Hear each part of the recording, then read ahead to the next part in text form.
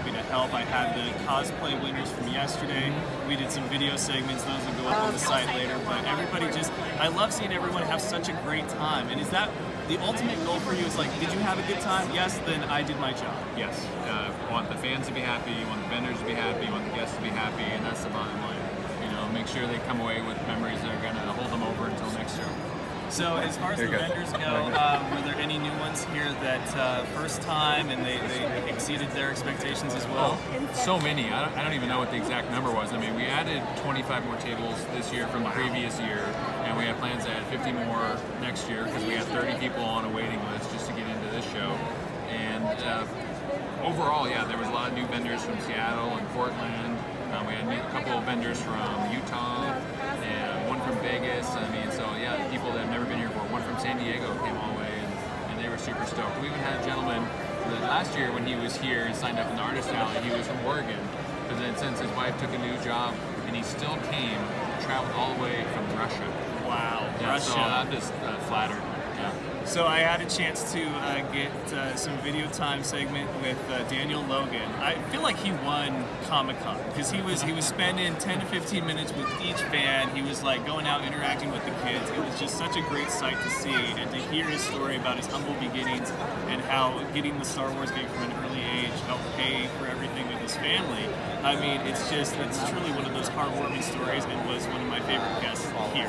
How was the reception on your end as far as the experience? nothing short of spectacular. I mean, and I knew because I follow Daniel online, social media. He's so active on social media.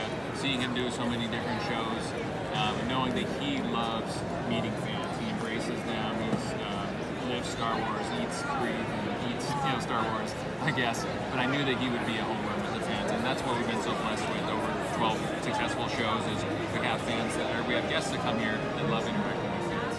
Yeah, and that I think is one of the most important things because we've talked about experience. And speaking of experience, there's a Jack Sparrow who I had I did a video segment with as well. A full character mm-hmm. coming down the way here, and it's just it's that kind of just full embracing of the character and cosplay. It's just from here. Um, you weren't on the judges panel. You and I both joked about how difficult it would be for us to, to judge a cosplay contest. How do you feel like it went last night? Were you happy with the winners and everything? Yeah, I was. I was. I mean, the participation, the level of creativity, and the amount of dedication that it took for everyone to pull that off was uh, just uh, breathtaking, really. What what is it gonna take for you to cosplay one time? That we, we don't even have to know that it's you. You just have to come out full cosplay, do a lap, see see who stops you, and if anybody recognizes you, and then go and take it off and be like, that was me. It just it'd be like the greatest ruse of all time at Comic Con.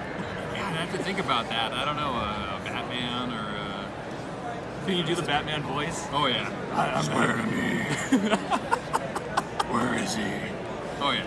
Uh, we talked about your going from the Falls and SCC campuses and, and now to the convention center. Are we sitting in the record-breaking attendance for uh, Comic Con, uh, Lilac City? I haven't got what the final number is yet because we still have a little bit more time to go, but we were on pace to definitely match last year's 6,000, um, if not exceed it after today's set. Uh, That's awesome. Yeah. And then you've got Lilac City, or I'm sorry, uh, River City Comic Con in uh, Coeur d'Alene coming up in October. yes, Lake City. Lake City. Yeah. I'll, I'll, I'll get it right. It's one of It's the new. cities with an L. Yeah. Uh, but it's been a great experience for me. I'm glad I was able to, to get a booth and interact with some of the fans. It's uh, the, the belt's been a big hit, and then I saw Sprocket running around. So everything has been fantastic. I can't Yeah. thank you enough for inviting me. But uh, uh, your final thoughts on Lilac City Comic Con 2018 from the founders' perspective?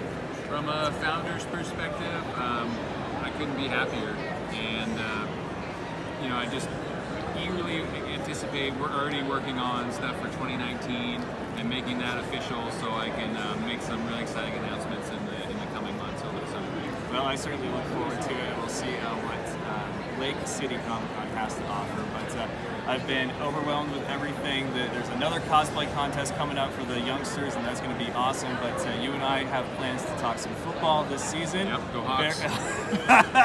he had to get it in there. Oh, yeah. I knew I it. was waiting. Oh, he was. it's- He's been waiting on that moment all weekend long. But uh, Nathan, thank you so much again. It's All been right, an you, absolute Richard. pleasure. Live from Lilac City Comic Con. This is the fan show, and uh, Nathan's going to go do his, his founder duties now. And I'm going to talk to my wife about cosplay here when she comes and sits down next to me because she never gets to be on the show. But oh you go and do your stuff, and I, I appreciate it. Thank All you. right, thank you. Talk to